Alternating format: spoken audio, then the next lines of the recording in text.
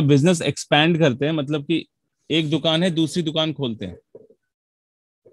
उनके लिए ये।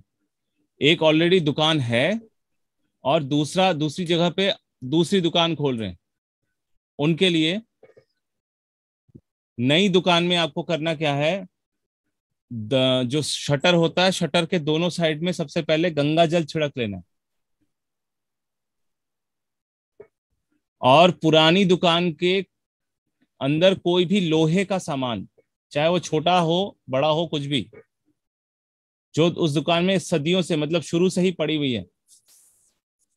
जैसे कोई नट हो गया, या कोई लोहे का टुकड़ा हो गया, उस लोहे के टुकड़े को ले आकर नई वाली दुकान पे कहीं भी एक जगह पर रख दे।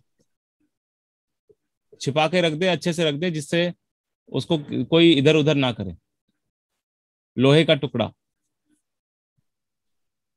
तो इससे क्या होगा कि पुरानी दुकान जैसी चल रही है, नई दुकान भी वैसे ही चलना शुरू हो जाती है। ये व्यापार को एक्सटेंड करना, यानी व्यापार वृद्धि कराने के लिए।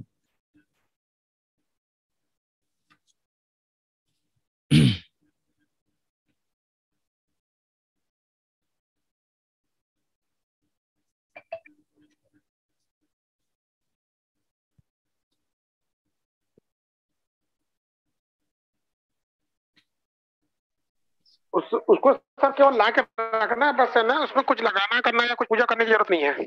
नहीं नहीं कुछ पूजा वूजा नहीं सिर्फ़ ला के रखना है। ये टोटका है ना इसको कोई पूजा पाठ नहीं कर रहे ये ये हाँ। राजसिक गुण से हम लोग काम कर रहे हैं रजस गुण। सात्विक गुण नहीं इसमें राजसिक गुण है कि हम अपने व्यापार को वृद्धि करने के लिए टोटका कर रहे हैं उपाय।